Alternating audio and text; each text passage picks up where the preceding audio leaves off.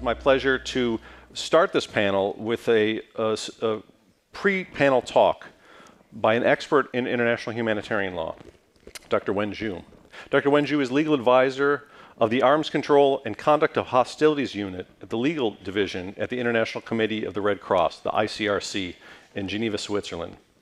Dr. Zhu's functions include coordinating, developing, and representing the ICRC's legal and policy positions on a range of disarmament and new technology issues, including outer space, autonomy, and artificial intelligence, and the legal review of new weapons and weapon systems.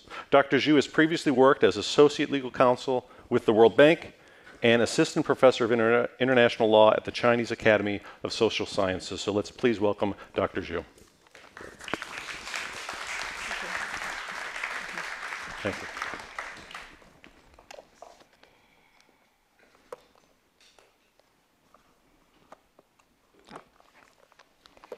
So good afternoon. It's always not easy to be a speaker after lunch, especially when the subject is law. So I'll try to do my best not to bore you too much.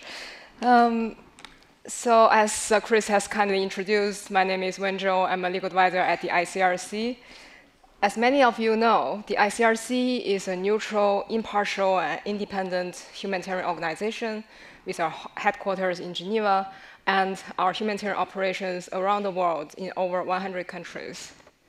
Our mandate is given by states in the Geneva Conventions to act to, to assist and protect people affected by armed conflict. We have a unique role when it comes to international humanitarian law, or IHL. IHL is also known as the law of armed conflict, or jus in bello, is a set of rules aiming to limit the effects of armed conflict for humanitarian reasons. And we, the ICRC, are often referred to as guardian of international humanitarian law in terms of promoting, clarifying, and developing this body of law. So today, I'm going to ask and hopefully answer three questions. The first one is why IHL and outer space? And second, what are the existing restrictions under international law on military space operations? And third, what needs to be done to minimize the risk of civilian harm arising from threats to space systems?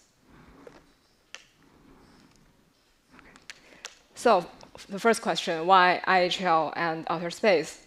Well, we human beings have so far avoided a Star Wars like scenario. It is a fact that space and space systems are playing an indispensable role in military operations in today's warfare. And outer space is becoming a new theater for major uh, power competition.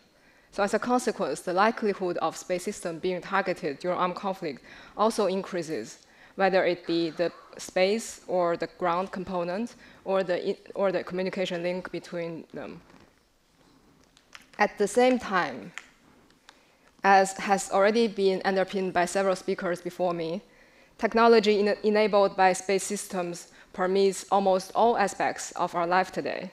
Space systems, in particular navigation, communication, and Earth observation satellites, enable the provision of essential civilian services on Earth, and also contributes to every phase of humanitarian operations, including those conducted by the ICRC. For, for, for these reasons, we, the ICRC, are primarily concerned about the potential human cost for civilians on Earth of the use of weapons and other military operations during armed conflict in relation to outer space.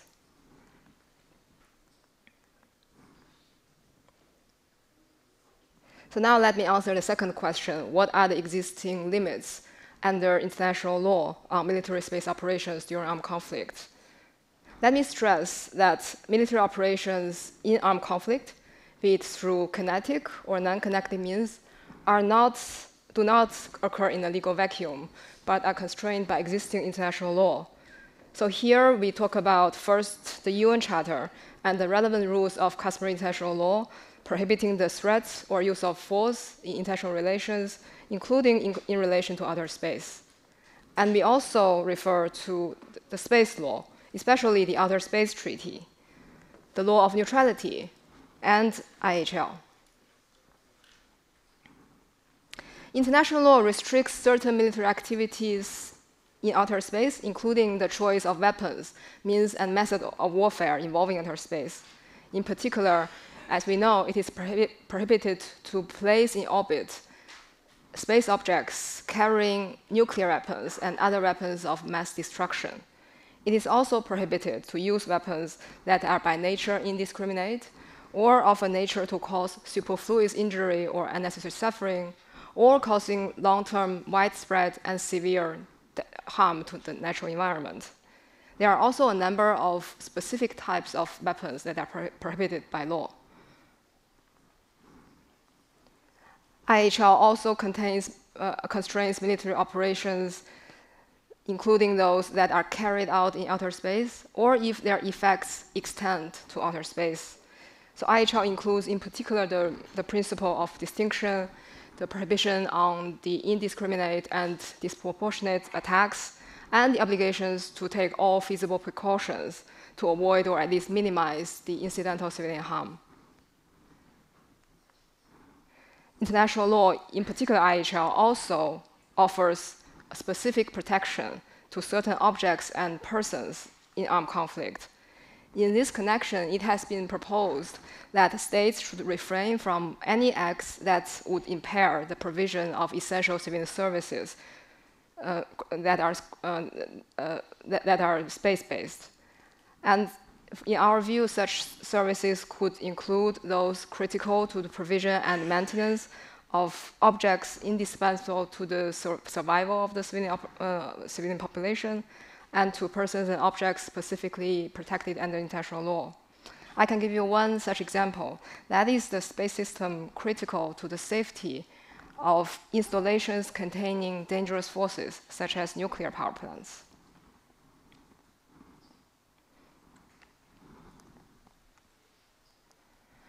So as you can imagine, there are challenges as to the interpretation and application of existing international law to outer space. This is due to the specific characteristic of the space environment and also due to the accelerated development of the space sector.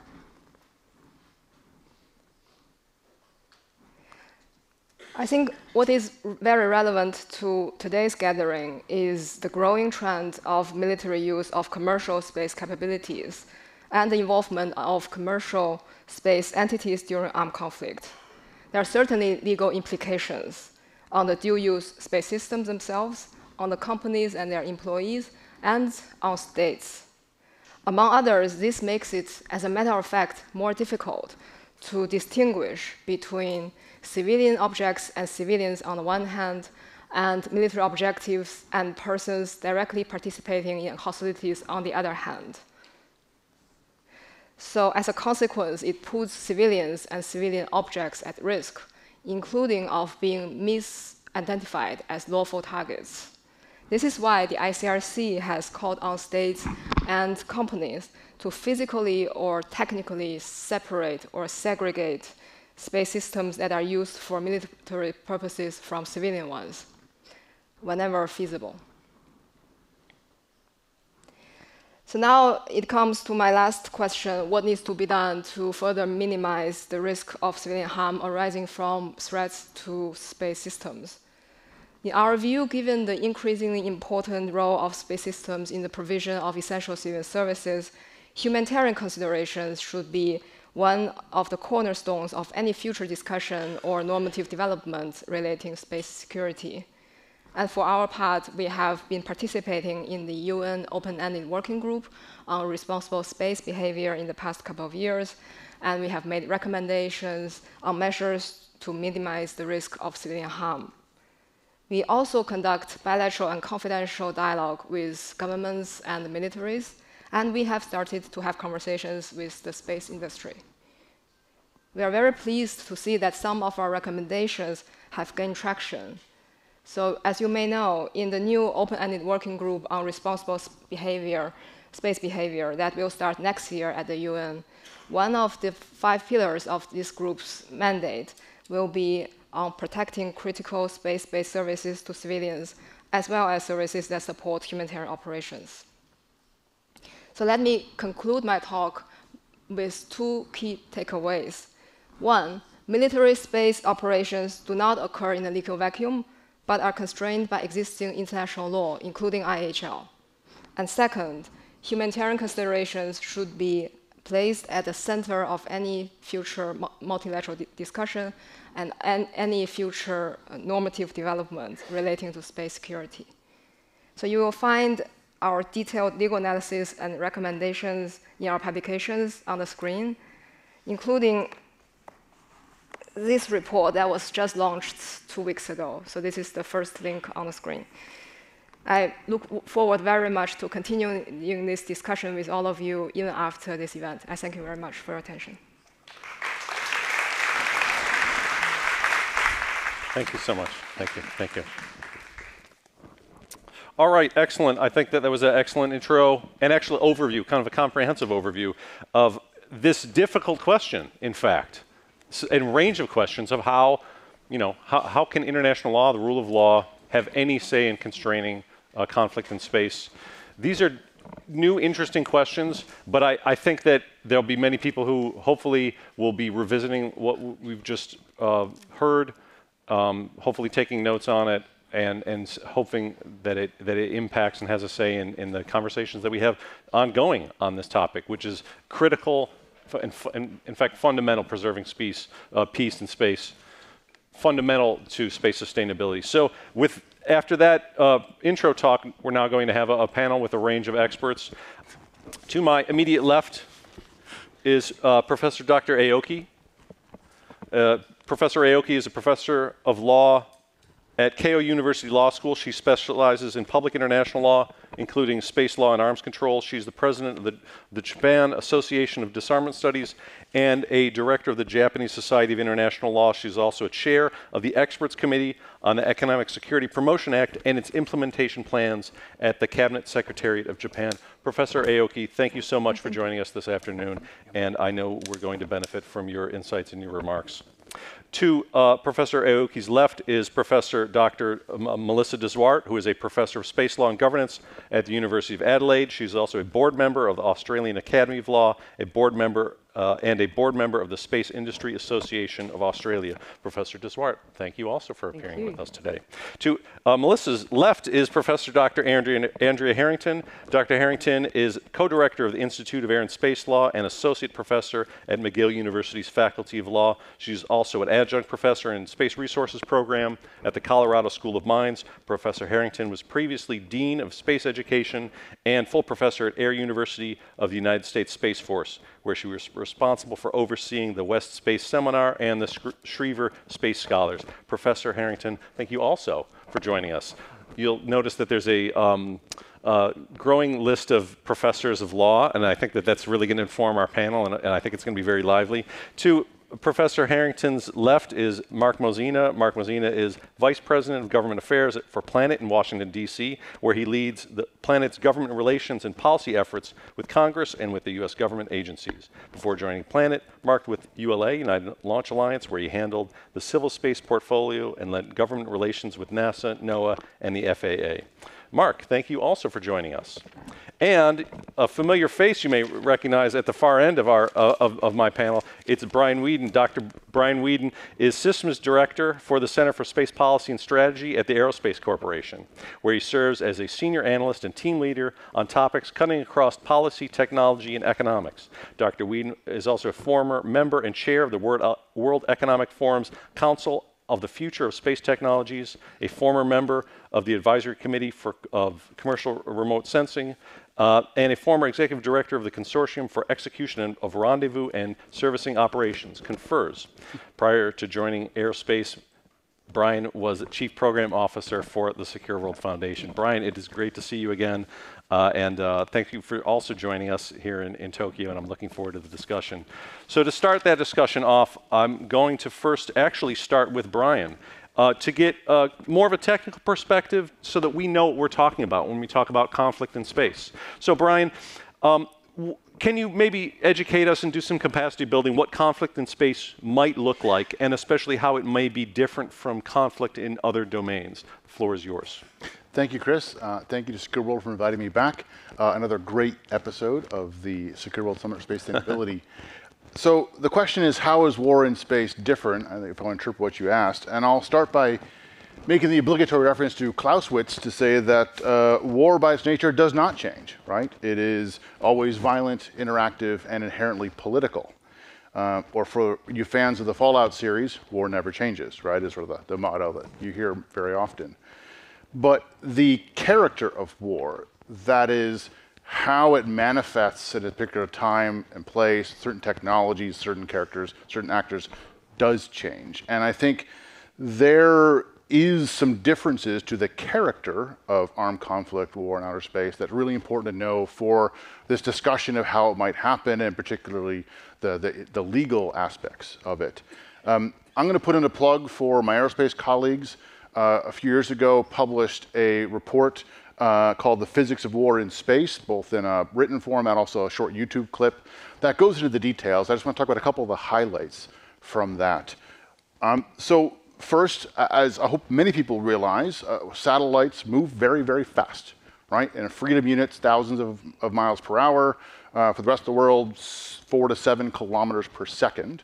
But at the same time, it's very difficult for them to change their orbits on a dime, right? They, they, they have the momentum, the inertia, they're going to keep moving. It's very difficult to change those things. Earth orbital space is massive. It is that volume just out to GEO is several thousand times bigger than the entirety of the oceans and the atmosphere combined. And if you were to say, oh, we're going to monitor and surveil the entirety of the oceans all at once, that's kind of crazy. But we also want to do that much harder problem of monitoring or, or, or keeping tabs on, uh, on space. And if you go out to cislunar, it, it just becomes an even much bigger challenge timing is everything, and you need to plan ahead because of both the speed and the predictability and the challenges in, in moving satellites. The orbital mechanics of relative motion between space objects is weird. I've got a bit of a background in engineering, I've studied calculus, I know some orbital dynamics. It is weird. It doesn't work like you think it does. In some cases, you move faster to go behind something or you thrust in the direction of something and it moving away from it, depending on, on the relationship to things. So just the relative motion is very, very, very weird. And there's many situations where things happen in slow motion. Um, a little bit of an age check here, but those who've seen the first Austin Powers movie, there's a scene where this guy's got his foot stuck in the floor and there's a steamroller coming towards him. And he's screaming for like a minute straight as the steamroller slowly moves in his direction for a lot of rendezvous and proximity operations, that's what's happening, right? The satellite is approaching over a period of hours, if not days, and you know it's coming. You really can't do anything about it, and it's just coming, and that's coming. Eh, but you have plenty of time to think about it, even if you may not be able to do anything about it. Destructive attacks against satellites are very possible, they're very going to happen, but non destructive attacks can, in some cases, be much cheaper just as or more effective and are actually what we're seeing happen in real world scenarios, right? Right now, space is part of multiple conflicts, wars, and we're seeing these non destructive attacks happening all the time. And finally, I'll say if you do a destructive attack in space, it can have very devastating consequences that are indiscriminate in nature and globally impactful in ways that are well beyond what you might see in terrestrial warfare if you destroy a building in terrestrial warfare, that can have long lasting and indiscriminate effects in that area, but it doesn't affect something 10,000 miles away. That can happen in space. Excellent. So you, the highlight you say is it's weird, but to go over it again, it sounds like time is different. There can be time delays, and there's what are the other like bullet points you want to? Uh, it's really big. Things move very fast, but it's also hard to change their direction. You know, we think of warfare, you know, fighter jets and, and maneuvering mm. and tanks maneuvering to dodge things. That doesn't happen with satellites. Excellent. Okay, thank you. Uh, Professor Dr. Aoki, I want to ask you the next question. And I know it's a difficult question, but I think the answer from you may be a beautiful answer. How can law assist us in preserving the peaceful uses of outer space? Oh, thank you very much for your question, Christopher. And uh, well, thank you very much for, for organizers to organizing this very wonderful symposium. Yes, I'd like to emphasize that there are established, firmly established legally binding rules in international law. And I just state what is prohibited and what is not. And first, threat or use of force, well, from to within outer space is prohibited. Well, that is a fundamental principle in international law to all human activities, to any domains. And well, second, the Outer Space Treaty provides that the moon and other celestial bodies shall be used exclusively for peaceful purposes. Concretely prohibited is the establishment of military bases, installations, fortification, the testing of any types of weapons, and the conduct of military maneuvers. So substantially, disarmament is accomplished on celestial bodies. And third, in outer space other than celestial bodies, placing in orbit around the Earth or otherwise stationing in outer space an object carrying weapons of mass destruction is prohibited. And for states parties, which are the parties to the Partial Test Ban Treaty, the nuclear weapon test explosion is prohibited. But other than that, the Outer Space Treaty is silent. So fourth, the military and hostile use of the environment modification techniques, which have widespread, long-lasting, mm. and severe effects, are, is prohibited for states parties to the, pro, for the sorry, sorry for, for the state parties for the prohibition of the environmental modification convention. So this convention seems a bit futuristic, but this proactive nature would go a long way. So what is not prohibited is, well, placing around the Earth or otherwise stationing conventional weapons, testing of conventional weapons, or non-orbital vehicles, which are ballistic missiles, or, well, even fractional bombardment orbital system that doesn't make a full rotation of the Earth.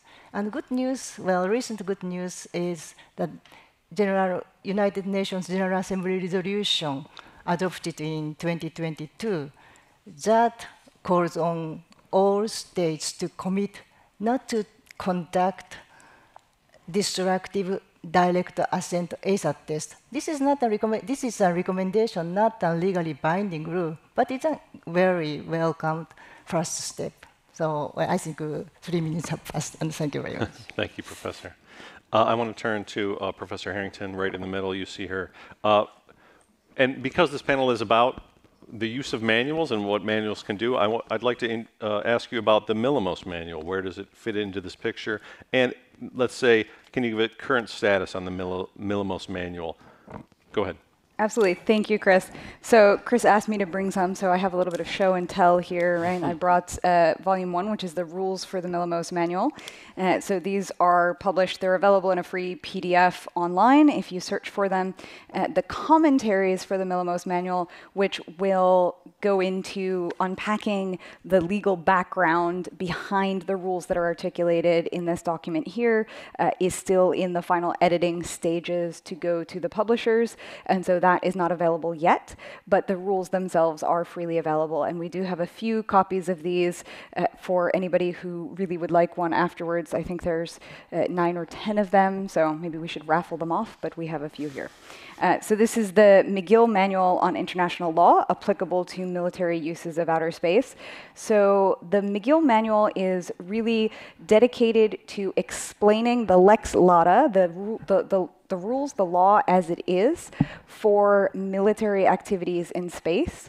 What that means is that there are limitations, right, on military activities in space. Uh, Professor Aoki just very articulately described some of those that are embedded in the system. Of course, most importantly, the UN Charter, which limits military activities in specific ways, including limitations on use of force everywhere. And so, what the MILAMOS Manual does is it strives to explain what limitations exist on military activities in space, how military activities fit into other space activities, where they are fit in right alongside uh, any other uses of space, civil, commercial, etc. So, what the MILAMOS Manual does not do is address laws during armed conflict, so IHL, uh, and, and Professor de Zwart is going to talk more about the Woomera manual in a minute. But what the MILAMOS manual does is addresses those activities that occur during peacetime or during times below the level of armed conflict. I'm going to apologize for a moment to the translators for the Latin uh, that I'm about to bring forward, because as a law professor, that happens sometimes. So MILAMOS really addresses uh, the the peacetime laws and the jus ad bellum, so the use of force the initial use of force, not use of force during an armed conflict. The jus in bello is the use of force during an armed conflict, which are you know, the laws governing armed conflict addressed more so in the Woomera manual. So we have kind of these two different periods of time in the continuum of conflict that the manuals separately address. And so MILAMOS was drafted uh, starting with events in 2016, with events all the way through 2022. The initial drafting events were in person events, but of course, COVID happened and disrupted the whole process as it did for so many other things. The MILAMOS project has been led by my colleague Ram Jakhu. Uh, so this is really his major project. Of course, uh, Professor Aoki is very heavily involved currently as one of the editors of the commentaries and is working with Rom to get that final version of the commentaries out. But this has been a very long process that has involved collaboration from folks around the world, experts and practitioners from around the world, giving inputs into what the existing rules are and how they apply to outer space.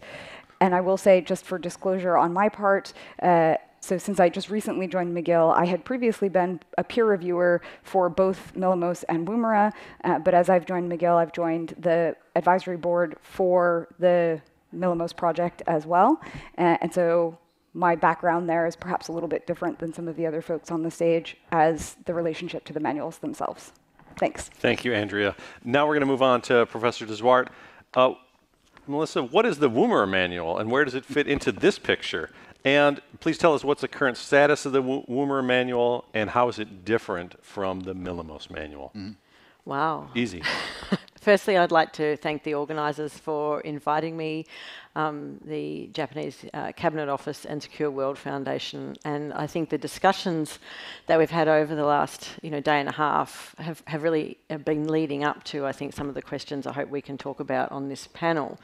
So we seem to be living in the age of the manual. Um, you know, it, I think it's a very good question to ask: Do we need two space manuals? Um, having, like, again, worked on both of them, uh, and they both serve different purposes. I think it's it's interesting to think about what is it, why is it that there is a need or a push to develop manuals.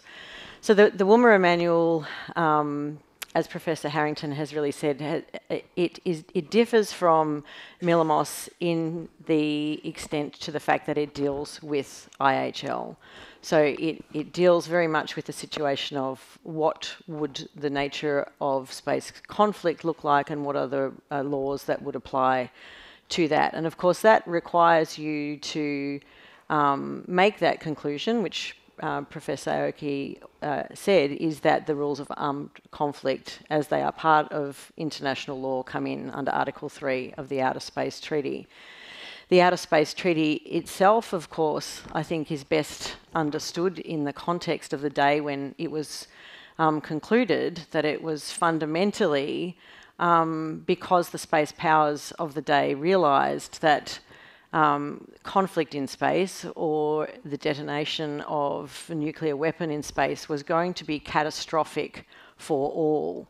So I think it's very important that the that it's also seen that even though uh, the Woomera manual deals with IHL, it is by no means, you know, uh, advocating or suggesting that uh, conflict in space is in any way desirable. So I think both manuals share that objective of uh, discussing this this very difficult topic, but with a view to enabling us to avoid the consequences that that may ensue. So the Woomera Manual has has just been published. Uh, I didn't bring it with me. I'm sorry, Chris, because I think it weighs about 10 kilograms. So um, I I didn't want to put myself over in my baggage allowance, and still I still wanted to do some shopping while I was here in Japan. So the Woomera Manual was sacrificed along the way, but. It, it, very much looks like a, you know an OUP textbook. Uh, it's available for order now. It follows the traditional structure of manuals where you have a rule that is articulated, followed um, by the commentary. Um, I think it's also worth saying that when we have these manuals, like I said, why are we making them? Because I think there was a sense that these issues in a period of what we politely call a period of rising tension, that perhaps there is a need for some kind of clarity about what uh, international space law and international law at large has to say about this period of rising tension.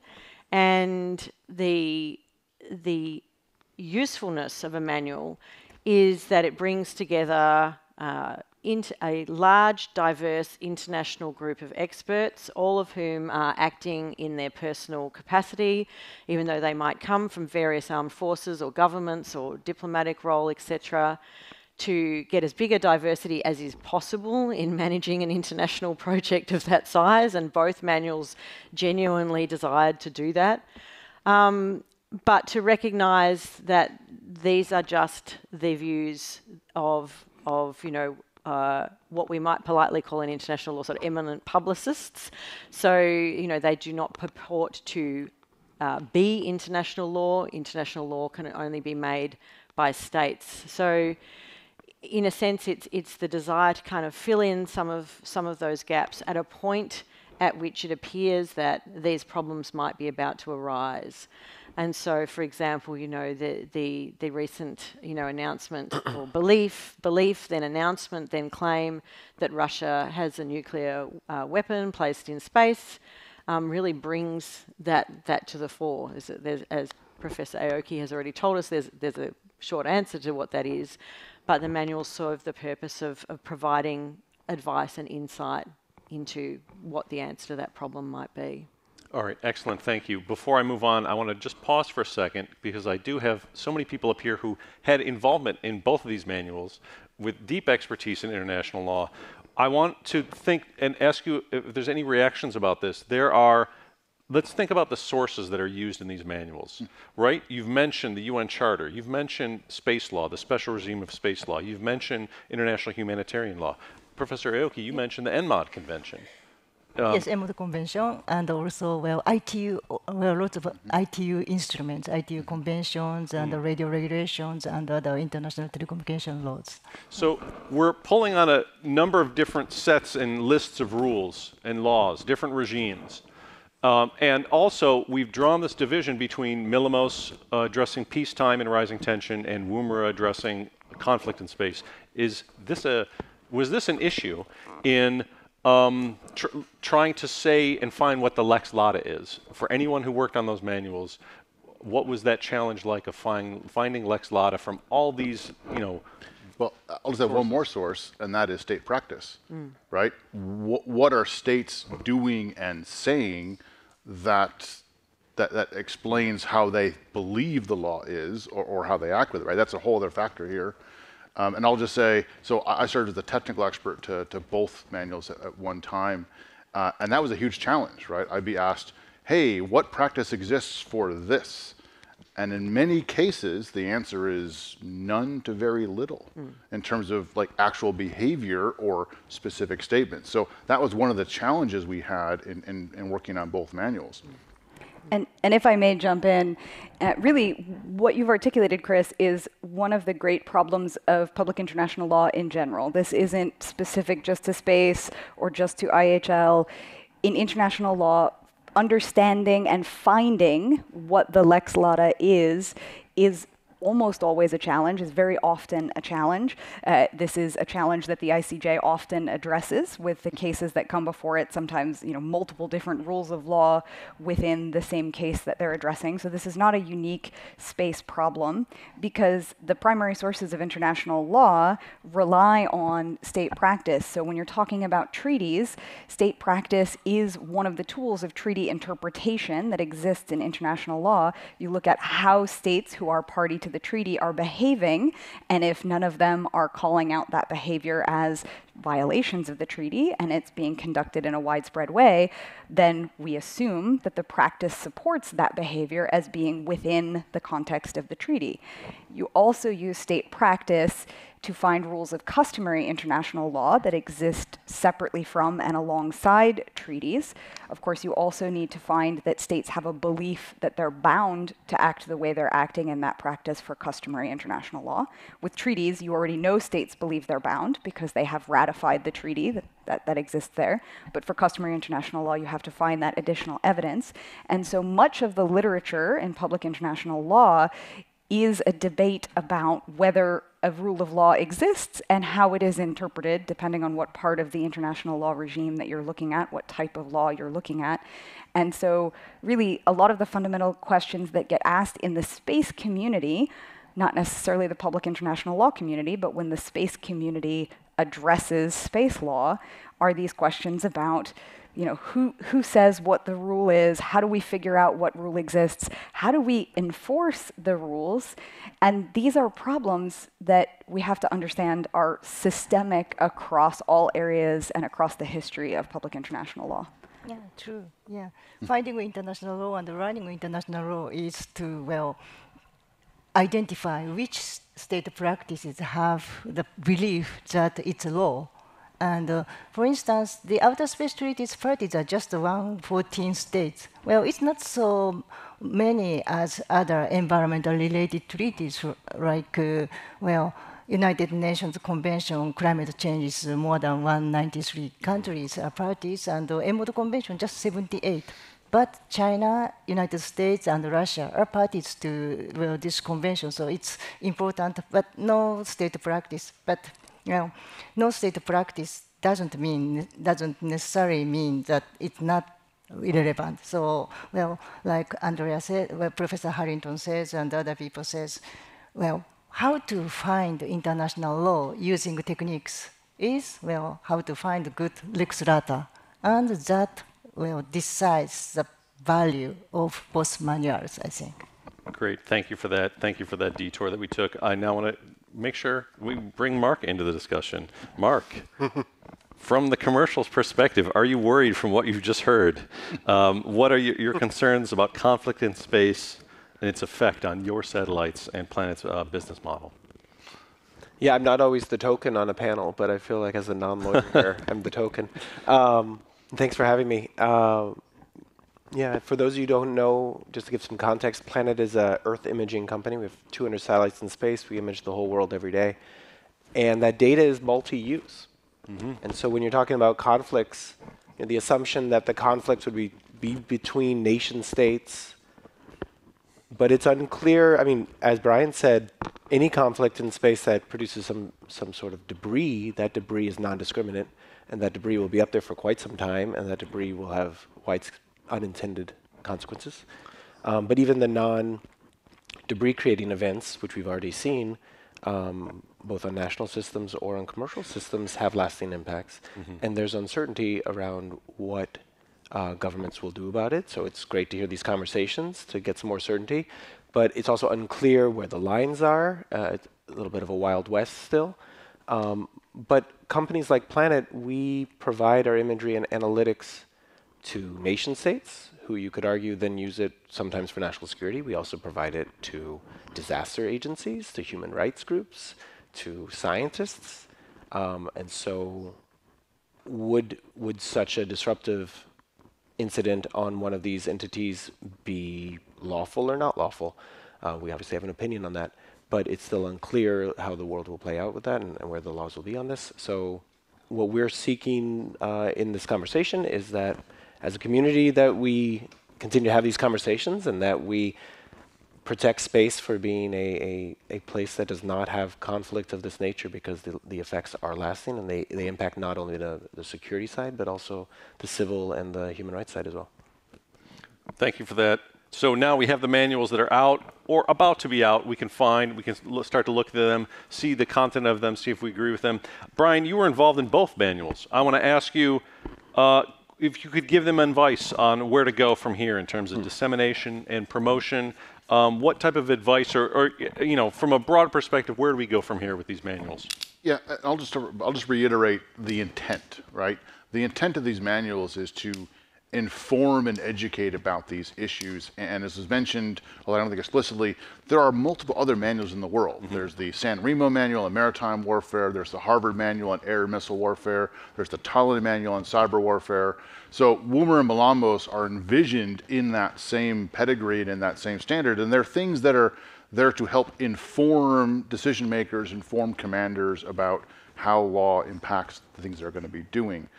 Uh, so I'm very glad that both manuals exist because I think they're going to help advance the discussion of these issues. And as, as we just pointed out, it's really important. This is a big topic that could have wide-ranging impacts on commercial and civil users of outer space, as well as the military and security users, and pretty much everybody. Um, I think there's two challenges that the manuals have to deal with. One is they need to talk to two audiences at the same time.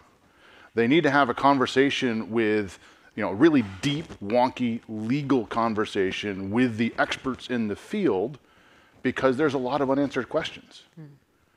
But at the same time, this is something that the public is increasingly interested in and policymakers interested in. And so the, the, you know, the, the, the manuals and the experts behind it also have to find a way to talk to the public and talk to the media and talk to policymakers in a way they can understand.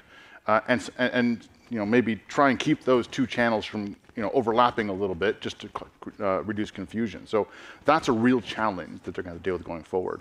Um, the second, it was sort of a hint at it earlier, is you know, if you want to ask, hey, is it legal for me to attack one of Planet's satellites? You're not going to find that answer explicitly in either of the manuals. Attack Right? someone else's man. Looking at me. Who else would you prefer they attack? it's okay. Yeah, okay. um, what you're going to find is, well, here are the certain situations where it might be considered a use of force, or, or certain things to keep in mind if you're planning an attack. There, there is not going to be an easy answer because it's a very, as was experienced, a very complex issue. So I think that's the other challenge the managers are going to have is, you know, people might come to them looking for that really explicit, easy answer, and it's not going to be there because in one case, thankfully, we haven't had what I would consider an armed attack or even really use of force against a satellite, or at least one I've seen that the United States have declared to be. So that's good news, right? But that also means we don't have a lot of practice or precedence that we can use to help create answers. Yeah. Thank you, Brian. Um, I'm, I now want to ask, and I want to return to you, uh, Professor Aoki. Uh, get, is it a problem that we have two manuals for the same type of conflict or the same scenarios? Because he, Brian mentioned, and we know we have, you know, the Tallinn manual on cyber, and you know the San Remo for maritime. But when we look to the space domain, actors, stakeholders may look, well, what's the manual for conflict in space, and see that there are two. Is this a problem that there's, you know, this possible divergence? Oh, thank you for your question. Well, it's not problematic, but first of all, well, both manuals are not, well, don't cover the same area. So MILAMOS, just from during peacetime rules to the extent where the self-defense is exercised, and only Woomera manual takes care of the rules during international armed conflict. So it's not well, overlapping anyway. But if it were, I don't think uh, it's not problematic at all. On the contrary, it's a good thing because the black letter rules, well, MILAMOS has 52 and Woomera has 48. They are kind of, well, both have have some overlapping places like uh, self-defense or use of force or retortion or countermeasures. That black letter rules are not so different or almost similar because they are the, almost reiteration of the, well, Lex Lata, I mean, the Outer Space Treaty or UN Charter or other major treaties and general international law. But if some difference, some small difference of the rules is found, that's the difference of the interpretation, how international law is going into some direction where, where, where it is. And commentaries. Commentaries must be rather different. And then its interpretation cannot be one. It's not, well, the law doesn't exist that way. So which interpretation, well, is on what evidence and on what direction or, well, it's that, that was the starting point to talk well, between the well experts with two manuals and uh, well other other relevant well relevant or interested people to think about the lex, real lex lata and uh, on, on, above that how in which direction we should go into. It's not the well law as it is. What kind of law we should have. So to formulate that yeah it's uh, having a, a, variety of rules and interpretation is served to provide it to well readers the community. It's a good thing, I think. Okay. Uh, thank you. Thank you. Uh, I want to now go to the next set of professors, uh, Melissa de Zwart and Andrea. Uh, you know, the Tallinn manual had two editions, Tallinn 1, Tallinn 2.0, and it was the, that second edition was really seen as an advancement. Yep. And, you know, a real successful that they went from, you know, this first version, now Tallinn 2.0, seen as more widely successful, but I see that they're even uh, making efforts to make Tallinn 3.0. Yeah. Do we need to do this for these manuals, or what do you, Chris, they more just came broadly? out. Come on, man. I mean, you know, you know how much work went into these. Uh, look, I'd have a few things to, to say to that. One, is, one is I think, um, you know, we, we do hear that space is a wild west. I hear that, you know, a lot, and I think, well, it can't be that much of a wild west if it has two manuals already, right? So there's clearly a lot of law. Um, I think that you know the other. Th- yeah, I think they will need to be updated because you know even in the time that the manuals have been worked on, there have been examples of state practice, and this is this is what's been said multiple times. Is that you know a group of academics can sit in a room and get really excited about Article 9 of the Outer Space Treaty. And I don't think we've talked nearly enough about due regard over the last, you know, two days. So I think we need to really up our game on that. so we can sit there and we can get terribly excited um, about what are the possibilities within the Outer Space Treaty to solve the problems that are existing now and that we can see uh, evolving. Um, but that's not what the manuals do because they can only describe what the law is now. So we can't, in the manuals, really give a full um, articulation of perhaps the different purposes that many of us hope that you know principles of due regard will be able to solve you know in cislunar space or on the lunar surface. So will we need updated versions? We absolutely will, and you know, you can only um, do so much state engagement, which is part of the process of manuals, is to get feedback from states. But again, what we will really see, and this is where Tallinn has done multiple versions, is it's responding to how states are using and picking up principles or perhaps changing some of the, the principles that were articulated in Tallinn. So I don't know if any of us have the energy to go through another uh, uh, project of doing a manual, but if we did, I think yes, we will need updated versions, um, and it probably will happen quicker than perhaps it's happened in some of the other domains like law of the sea, for example. But those manuals are also being updated. Um, but I think it is important to to just reiterate that that these are not just like legal academics or lawyers um, hypothesizing about what the law may be. They're having to be very, as you talked about, what the sources are that they could use. They had to be existing elements of law. So there's a lot more, a lot more work that we will need to do as future uses of space occur. Thank you. Andrea, did you, did you have a reaction? Yes. So first of all, uh, thank you, Professor de Zwart, for bringing up due regard. I need to have a button made that says "Ask me about due regard," uh, because I think it's incredibly important. And I'm going to be that person for a minute and plug my recent article from earlier this year that was published in the Chicago Loyola Journal of International Law. It's open source and free, so you don't have to have a login. You can find it online, talking about the principle of due regard, which I believe is a tool that states already have in their toolbox. It's binding it exists in the Outer Space Treaty, but states are just not using that tool. It's sitting unused, and they can pick it up and they can use it. And I think, personally, in my you know, professional opinion, it is the most valuable tool that we can use going forward from a state practice perspective under the Outer Space Treaty to deal with these novel uh, and evolving, emerging technologies and interests in outer space back to the main point of the of the question here in terms of updating the manuals. So for Tallinn, Tallinn focuses on cyber activities, which are evolving very, very rapidly. Cyber activities are very expensive, excuse me, inexpensive to get into at a ground level. So states and militaries can really rapidly increase their cyber capabilities. And so the state practice in cyber is evolving very, very fast. Things are changing all the time, stuff is happening all the time.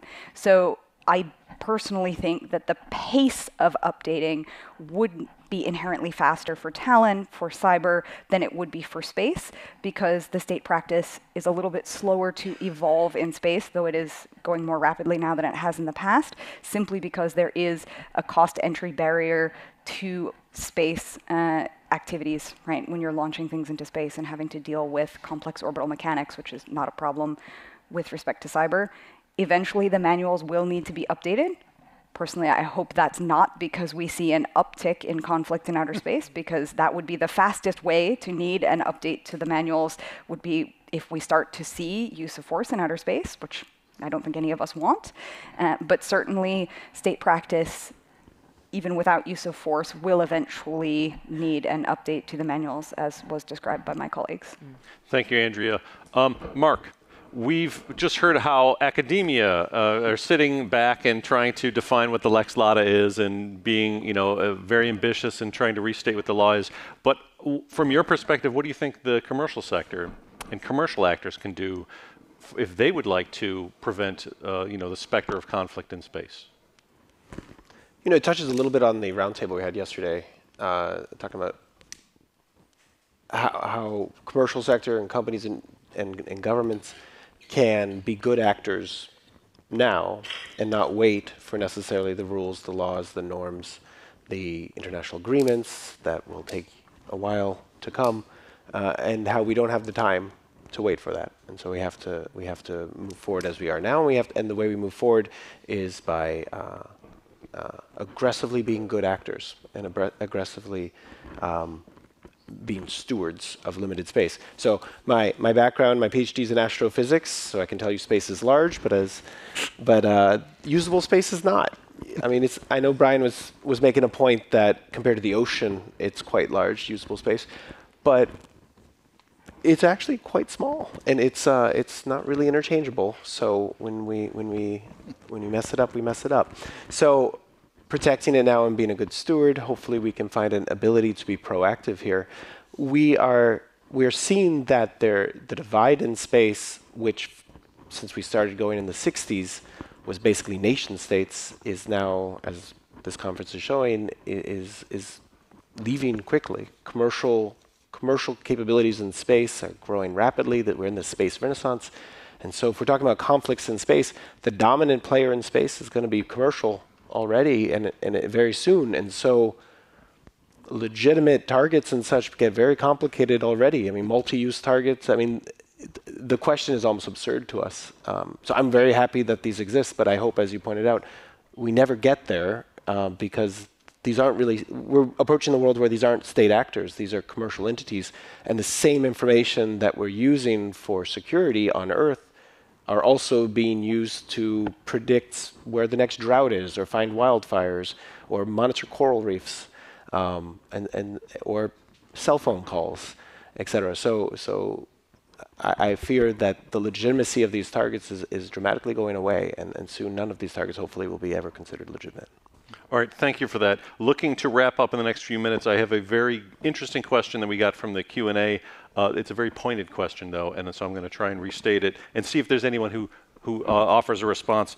Is it plausible to define what a weapon is in space for legal purposes? But listen, that would that would be able to allow for distinctions excluding dual use technologies like cooperative RPO, lasers for scientific purposes, etc. Like, it, wouldn't it be a good idea if we could definitely whitelist some activities? Anyone? So, uh, so, so as the, the, the technical, one of the technical advisors to both manuals gets this question a lot.